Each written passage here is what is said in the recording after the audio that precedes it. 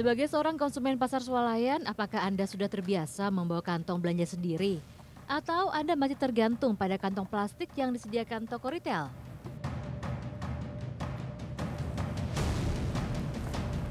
Sudah kak. Sudah. Mau pakai plastik atau bawa sendiri? Ini aja bawa sendiri. Bawa sendiri. Jadi saya menggunakan kantong ini bisa digunakan berkali-kali, tidak sekali pakai langsung buang. Nah, setidaknya kita bisa meminimalisir penggunaan kantong plastik. Jadi tercatat kurang lebih ada 10 miliar lembar kantong plastik setiap tahunnya.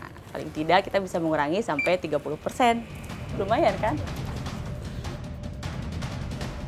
Mengubah kebiasaan atau gaya hidup menjadi salah satu cara ampuh mengurangi produksi sampah. Indonesia sendiri menjadi penyumbang sampah plastik ke laut kedua di dunia dengan jumlah 187,2 juta ton. Sementara di urutan pertama ada Tiongkok dengan jumlah sampah 262,9 juta ton. Berbicara soal kebijakan KPTG atau kantong plastik tidak gratis sebenarnya bukan kali ini saja bergaung.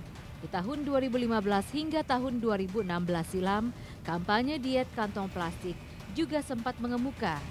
Beberapa saat bergema, namun kembali tak terdengar.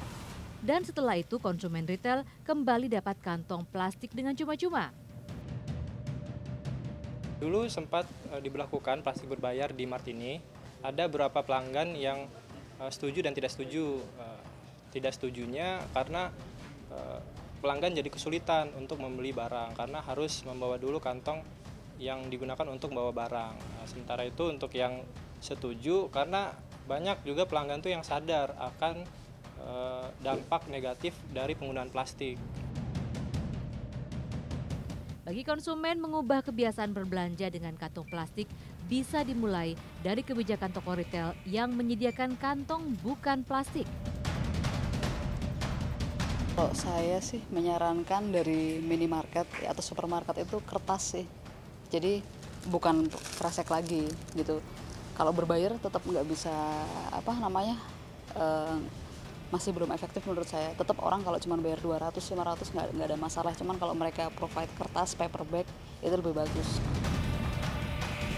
Mengurangi penggunaan plastik saat berbelanja membawa harapan pengurangan sampah plastik hingga 30 persen. Terhitung 1 Maret 2019 kemarin, setidaknya ada 40 ribu toko retail modern di Indonesia yang sepakat akan kebijakan kantong tidak gratis.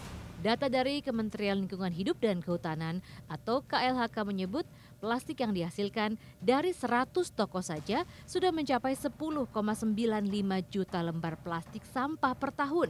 Jumlah itu setara dengan 65,7 hektar plastik atau 60 kali luas lapangan bola. Diperkirakan total jumlah sampah Indonesia pada tahun 2019 akan mencapai 68 juta ton dan 14 persen di antaranya berupa sampah plastik. Dibutuhkan kesadaran masyarakat agar lingkungan bisa bebas sampah plastik.